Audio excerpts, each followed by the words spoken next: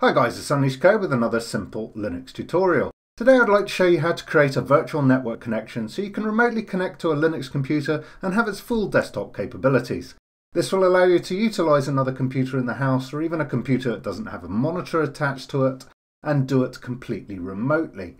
I'm going to give you two different examples, uh, two different ways of doing this. One is in Linux Mint uh, which I'll be showing first, and then I will show you the configuration on a Raspberry Pi. So watch till the end as I go through the configuration for both, and if you want to learn how to do this, stick around and I'm going to show you how to set up X11 VNC.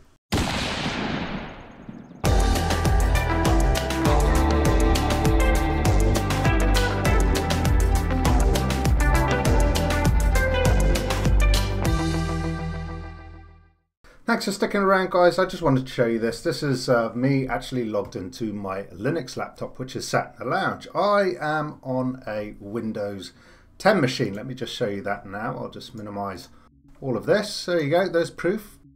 We are uh, sat in Windows 10 but I am logged into my VNC and I can use my Linux computer uh, as if I was sat behind it. So I've got full GUI capability. And that is what we're aiming to do today, is to set this up and make it nice and simple for you guys to do the same. I'm using Linux Mint, which is a Debian based, and if you're using another distribution, you may have to change the setup ever so slightly to meet your distribution requirements.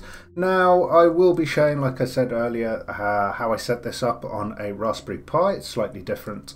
And either if you're a Linux Mint user, just use this. It's absolutely golden. You're going to be good. And if you're having trouble, please try the alternative way of setting this up, which I show later on my Raspberry Pi configuration. I'm sure that will work for you. Okay guys, let's begin. Let me show you how to set up X11 VNC. And that's the bit of software which I mentioned at the beginning, which is actually going to allow you to do this. Now you want to be doing this on the computer, the host computer. This is the computer that you actually want to connect to.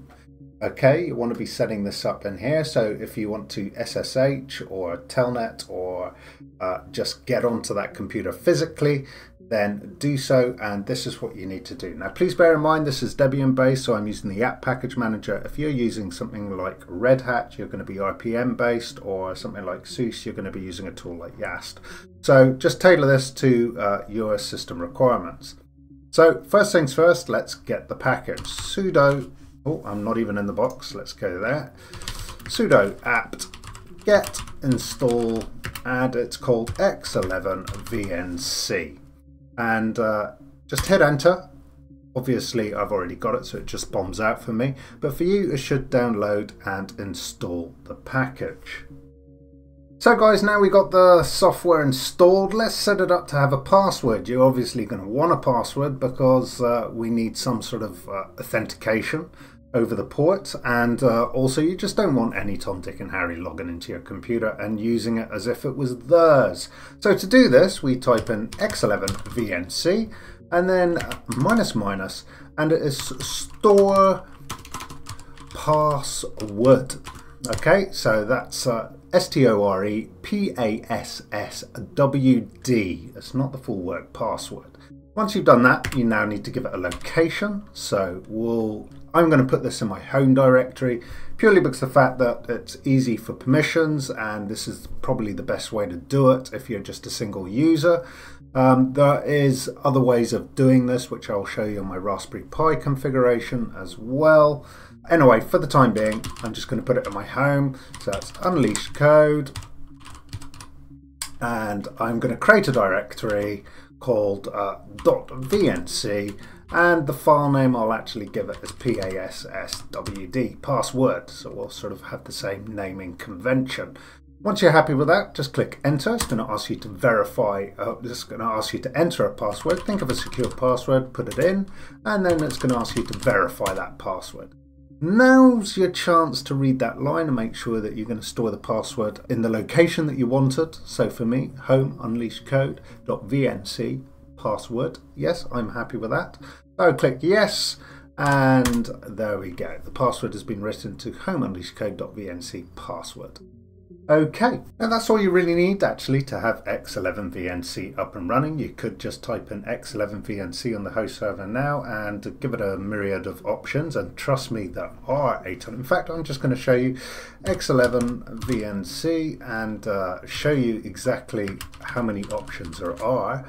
As you can see there are lots and lots and lots.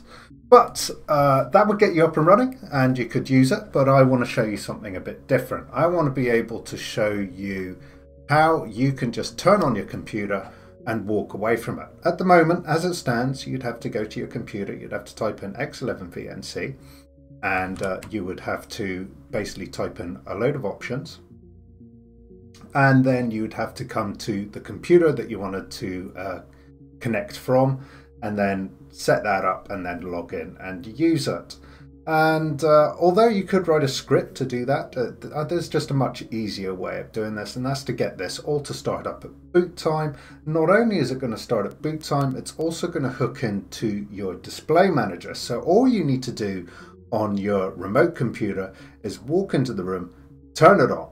As long as you know that computer's on, and you could leave it on forever, as long as you know that computer's on, you can remotely connect to it.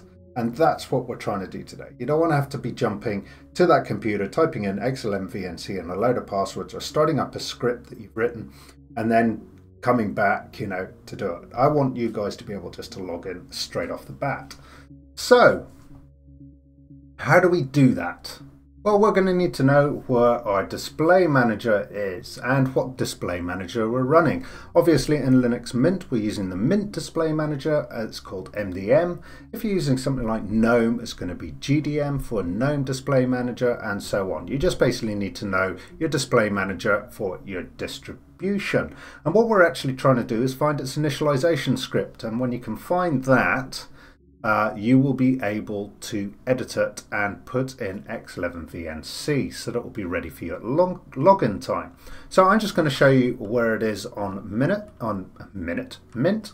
Um, Nano, it's actually at ETC and it's MDM for the Mint Display Manager and it's uh, init for initialization script and we are going to call, I think it's default or is it defaults?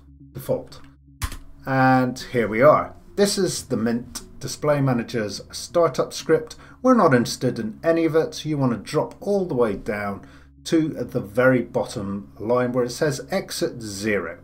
And if you just look above there, you can see I've already set out uh, my command. So because obviously we're running this on a remote display, so it's already set up. And I've got my X11VNC uh, location and obviously the parameters I want to use to work with that. So what I'm going to do now is I'm actually going to pull up another little text box and I'm going to go through what you need to type in here just above exit zero and I want to explain to you what each and every single one of these options does so you actually know what you're typing in. It's very easy for me just to say just type this in it doesn't really help you. You need to know why you're typing stuff in and, and what it actually does. And that's what I want to do for you now. Okay guys, I've just moved the box around and just made a little bigger so we can see this entire line that we're interested in in its full glory. I'm just going to open up a text editor now. I'm going to cover absolutely everything so you can't see anything except for the line that we're interested in. There we go like that. And in the text editor I'm going to go through what this line does and what it means and what are the parameters that we're using. So, uh, first of all, you've got user bin, it's not sbin, it's uh, user bin, and it is x11 VNC. Okay, and that's just the location of the program. Okay, and that's going to start it up. Uh, I'll just put execute execute there, and then you know that that's going to be executed. Okay, minus shared is the first parameter that we come across, and what this does is that allows for multiple connections. So you can actually log in from multiple computers into your X11 VNC server. As it stands at the moment, it will only allow one connection, and if you have multiple computers, if you try to connect, it will just boot them off. So uh, allows for multiple multiple connections. The next one that we come to is minus forever. And what this allows us to do is basically log in and log out without closing X11 VNC. As it stands at the moment, if you log out, it's going to actually close X11 VNC on you. So you're going to have to, if you want to log back in, actually have to go back to the um, X11 VNC server computer, the host computer, and you're going to have to start up X11 VNC, chuck this entire line in again, and uh, get it up and running, and then come back to the remote uh, computer, uh, to the computer you want to remotely connect from, and uh, log in again. So forever is very, very important. You don't want to be doing that all the time. So uh, keeps the uh, server running even after you log out. Okay, that's probably the best way to describe it. The next option is minus no DPMS, and this is sort of relevant for me because on my laptop I've got power management saving, and uh, my monitor just sort of dims down and blanks out and goes to a blank screen. So what this does is just forces it to keep the screen alive as long as I'm connected. So I shall put in prevents prevents uh, power management saving and keeps the display display alive. Okay, uh, the next option is minus no X damage and that's a pretty important option as well as it currently stands with the frame buffer um, it's basically used to prevent your session crashing when the frame buffer changes and marks the whole screen as damaged. But in actual reality, it's only a very small portion of, portion of the screen. Um, and what you by putting in this command, it basically tells the frame buffer buffer if it sees a sort of tear, not to kill X11 VNC. We all get tearing on our screens. It's all small. It's all tiny. Uh, it's very overpowered in X11 VNC. If it detects a small tear, it will report it as damaged and it can kill the connection. So I shall just say uh, prevents um, frame buffer issues. Use and keep and let's uh, X11 VNC run with some screen tearing. I think that's the best way to uh, describe it. right. The next option we come to is minus RFB port. RFB port, and it's actually got a port specified of 5900. That is the default port. Okay, that's the default port for VNC. Um, I will in a later tutorial probably show you guys how to do this over a secure connection. So we'll actually use something called port tunneling and do it over SSH. For the meantime, let's get you up and running. RFB port 5900. If you don't put this line in, it's going to default to that anyway. Just in case you've got firewall restrictions, you want to change a port, you can do. Uh, just be wary of which ports you're going to choose. Right, after that we've got minus display and you'll see it's got a colon and it says zero. Okay, I'm just basically specifying here that I want to use display zero. If uh, I had a computer which had several monitors on it, I may put in uh, display one if I actually want to see the other screen. Um, if you don't put in this line in at all, this is an optional line, minus display it will actually, the VNC server will hunt out the best display and just chuck the display that it can find up for you. So it's not an essential line, but if you've got multiple monitors, it's something that you may wish to consider. Okay, so uh, I'll just put chooses display to show.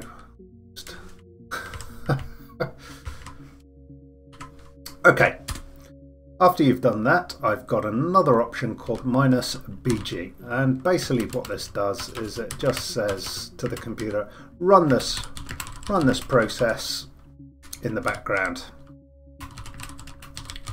In the background. And uh, that prevents you accidentally closing it by uh, mistake or someone else using that computer and accidentally, accidentally closing it for you. Okay, minus O, not zero, minus O is the next one, and that's for logging. That's to say, please log all the entries.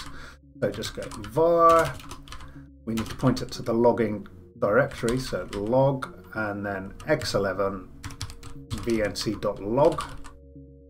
Okay, and that's really worth doing. In fact, what I'm going to do right now, I'm just going to pop this up. I'm going to show you what's stored in one of these logs, and it's super handy to know it's uh, log x11 vnc.log, and as you can see, everything's time stamped in there. If you guys have a problem, okay, this is the first place that you want to gonna you're gonna want to come and have a look because you're more likely going to find your answer in here as to what went wrong. Okay, so it's got everything in there. It's even got my IP address. It's got the fact that it's display zero and Silver Assassin is the computer that I'm logging into, and all the information's in there, and uh, keeps nice and healthy log files of what's going on. But last but not least, we've got the last one, which is down here, minus RFB auth and uh, the place of where we saved the password earlier. So I'll just type this in minus RFB auth and then uh, the password location. For me, I stored it in my home directory. So unleashed code and uh, I put it in a directory called .vnc and then I just named it um, password, didn't I? P-A-S-S-W-D. And that is the location of where I stored the password and uh, it means the connection has to be authenticated using that password that you chose when we set it up. And uh, you'll be a bit more secure by doing so. So that's that's the line. I mean that's that's all of the configuration options. And uh, i hope i've explained them clearly enough to you. Um, so we'll move on to the next step now. Okay make sure you save the file that we've just been editing and really the next step is just to restart the display manager. And to restart the display manager, it's actually going to log me off. But it's going to be, it's going to let me show you exactly what I'm talking about, about switching a computer on and walking away from it and knowing that you can log in. This is what we were aiming for throughout this tutorial. So let me just start by going sudo, it's a service, and it's MDM for me, which is my Mint Display Manager. If you're GNOME Display Manager, it'll be GDM. If you're KDE, it'll be KDM or whatever it may be. And just type space and restart. Okay, and like I said, this will log me off. There we go, took its time, but it did. And we shall wait for a little bit and I will log back in. I will also show you at the end of this uh, where to get this software VNC that you can log in from a Windows computer or any other computer. So uh, just hang around for that. I will go through all of that as well. Right, it's asking me for authentication. This will be the RFB auth. So you put in the password for that. And there we go. It's brought me to the login screen. So all I needed to do was make sure that my computer was switched on. Okay, and it actually takes you to the login screen and it's all up and running. X11VNC is working and I can just type in my password for my user account and all in due time. There we go, we're all back up and running as we were. Okay guys, now we've got X11VNC set up and running on the computer. Now you need actually a bit of software just to uh, log in and use it and use a VNC viewer and there's a couple of options out there. I'm going to give you two easy options. One of them is Ultra VNC Viewer. You can actually download that and use that piece of software. Or you can uh, use another piece of software, which is a VNC viewer, which is through your Google Chrome browser if you're using Google Chrome. I'll show you both options. Let me just close this down. Here we go. Disconnect will come out of this and we'll close it. I've actually got the web page up here. It's uvnc.com, www.uvnc.com for UltraVNC. And you can just go to the top to downloads and it's going to be in there, UltraVNC. And just give it a download and you're good to go. Install it and all it will ask you is for your IP address. Now, if you want to do it through uh, Google Chrome, super easy. I'll just show you how. Uh, just open a new tab. I've actually got uh, it already set set up on mine, so I'll show you where to go to install it anyway. Click on Apps in the top left. Okay, there it is for me. But what you want to do is go to Web Store, and if you just type in the Web Store, just type VNC, and it's going to come up. Skip all the extensions. You want the app and there it is, VNC viewer for Google Chrome. Just click add to Chrome, that'll add to Chrome and whenever you click that wonderful apps button it's going to be sat there and you can just click on it and it will bring up this box and you can log in there. So I'll just do 192.168.1. That's to my laptop. Asking for the authentication and we'll full screen it. And there we go, guys. So that is a neat little tip for you. Alright, as promised, I will show you another way of doing this and uh, we're going to quickly log into my Raspberry Pi in which I have it set up and I've got it set up slightly differently. So if this first way didn't work for you, if you're not a Linux Mint user and it actually was uh, a bit different for you and wouldn't play ball, then this is another option for you to try and uh, this should work for you this time around. So let's log out of this anyway and uh, go into the Raspberry Pi. We'll disconnect and I'll just change over to my Raspberry Pi's IP address and connect. Authenticate as well. Okay, and there we are on my Raspberry Pi. Let me just close that. There we go.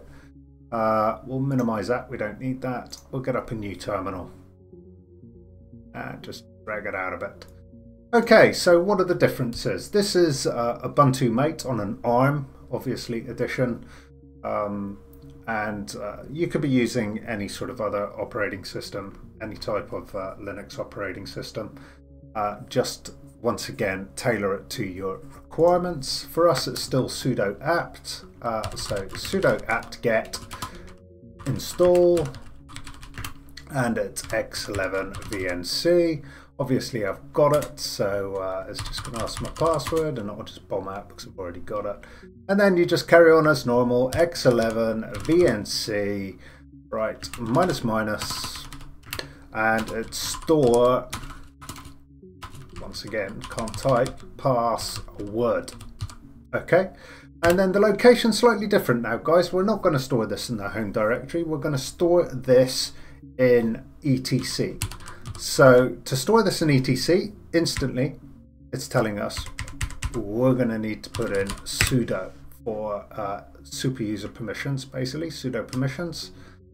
Okay, and uh, .vnc at the end of this, and we're going to say password again, exactly like we did before. Okay, so just remember that is sudo x11vnc minus minus store password. You have to be sudo because of the password location and once you hit enter it's going to ask for your password. It may ask you for your normal sudo password first and then you're going to have to enter your VNC password. Because I've already done this we're going to skip it. You know what happens, it asks you to uh, confirm that password and then from there on it's going to ask you to um, check the location of the password file and uh, just to be sure, I'm just going to go uh, cat. It was .vncs where I put it. Just checking.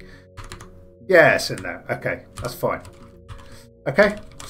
Um, once that's done, the next thing you do is you don't look for your display manager. This is a slightly different thing. We're going to do this in a startup script. And when your computer starts up in Linux, it will read a local file in the etc directory called rc.local. Okay, and that is where we're going to put our command line. So that's really the only difference. So I'm just going to go sudo. You're going to have to be sudo nano, and it's uh, etc. And um, if I remember rightly, it's just rc.local. rc.local, yes it is. Um, click enter. Yes, I want to edit. And as you can see, it's a much smaller file this for the rc.local, but this is uh, exactly where you want to put it. Just once again, above the exit zero, and uh, put in the same line that we put in before. And mine's just a bit higgery jiggery pokered about. And there's just one extra piece of information that you need to put in. Rather than just having RFB auth as you can see we've got an extra authorization marked here at the end. So I'm just going to pull up a little text pad here and type it out for you as well so it's nice and clear. Uh, I didn't realize this is going to be dark themed never mind. It will uh, still be the same. You've got minus auth, not RFB auth, and you need to start the location of where your display manager runs from. So that's a var and run light DM. That's the light display manager for Ubuntu Mate that it uses, and a root and its terminal is zero. So colon zero and you want to write afterwards use pw for use the password and chuck in an ampersand sign to basically just say go to the next line. You've finished executing the script. So that's the only difference is really this and where you type this. So it's in the uh, your etcrc.local that will get run at startup. All the options are the same and uh, it's just an additional line of minus auth and then the location of where your uh, display manager actually runs from. So for this, it's var run light dm root and colon zero for the display, and then just put minus password, use pw. And that will ask for your proper credentials to log in with. So that's it. That's the only difference. Uh, once you've done that, obviously uh, save the file. I can just close that out of the way. Okay, just make sure it's all saved and close it. And what we're going to do now, I'm just going to quickly check to make sure, make sure rc.local is running as a service. I'll go sudo service and minus minus status and I believe it's all. Let's see if rc.local comes up as a service in there. Yes, it does. rc.local. Seen it. Happy with that. Okay, so we need to just go service, sudo service, sorry, sudo service, and the service we want to start is rc.local and restart it. Okay, and this will boot you out. There we go. Booted us out. Just got to wait a little bit to log back in. Should be enough time. And there we go. All back up and running. So there we have it guys. That is a Linux setup of X11 VNC and how you can use VNC to remotely connect to computers and also where to put all the scripts and how to do it. So it's nice and easy that you can only just go along and just turn on your computer and walk away and then you know you can log into that computer whenever you want. So much better than having to go to the terminal and set it up or SSH into the computer and set up that massive long command line every time or fire up script. It's just, it, it happens as the computer starts in both cases. So there we go guys. Hope you enjoyed the video. Please give me a thumbs up if you like the video. Please click that subscribe button if you want to see some more. I will be doing a lot more Linux tutorials in the future and I shall bid you all farewell. Thanks for watching. Hope I've helped you a lot today. Cheers, guys. Bye bye.